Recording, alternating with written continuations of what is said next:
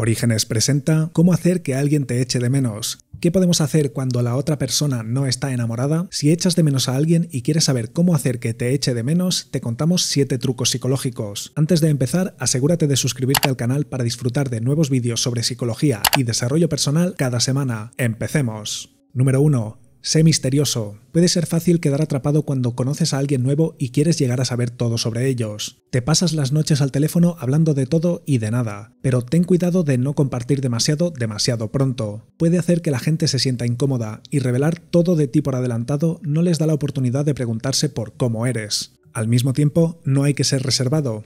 Cuando estés hablando y te pregunten algo, sé sincero, responde lo que quieras responder con naturalidad, comparte lo justo para que quieran saber más.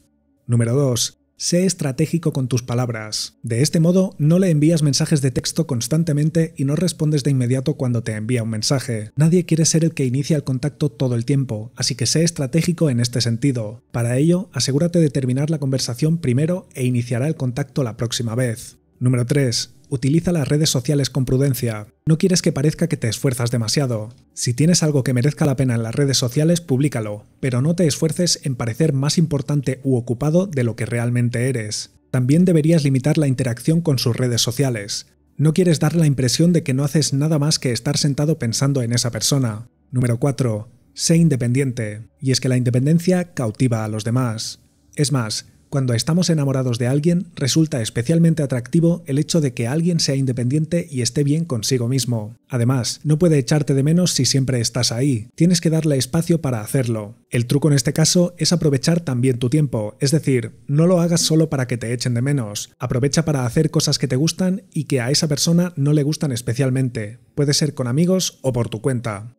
Número 5. Construir la anticipación. Haz planes para darle algo que esperar. Puede ser algo tan sencillo como ir a comer a un sitio que le guste o entradas para un concierto al que los dos queréis ir. Es decir, cuando estés con esa persona, piensa en un próximo plan que pueda gustarle y anticípate. Esto hará ver que quieres seguir pasando tiempo con esa persona y hacer cosas que le hagan sentir bien. La anticipación aumentará sus ganas de volver a verte y enseguida te echará de menos. Número 6. Sé memorable. Una forma segura de hacer que te echen de menos es aprovechar al máximo el tiempo que pasáis juntos para que quiera estar más cerca de ti. Sea alguien a quien merezca la pena echar de menos. Es decir, si cuando estáis juntos no hay buenas sensaciones, cuando esta persona está intentando pasar un rato agradable, no hay mucho que echar de menos. Pero si el tiempo que pasáis juntos está lleno de buenas conversaciones y experiencias, entonces, naturalmente, cuando estéis separados pensará en esos buenos momentos.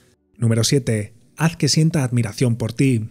La admiración es uno de los factores más potentes a la hora de gustar a alguien, así que si quieres que no deje de pensar en ti y te busque, lo mejor es que le muestres sin reparo tu forma de actuar y de pensar. Y es que lo cierto es que cuando alguien tiene personalidad propia y la muestra sin miedo, no solo enamora, sino que a veces provoca admiración, ya que no todo el mundo es capaz de mostrarse tal y como es. Muéstrate tal y como eres, y si le gustas, tendrá ganas de volver a verte, siempre desde el respeto, la honestidad y la empatía hacia los demás.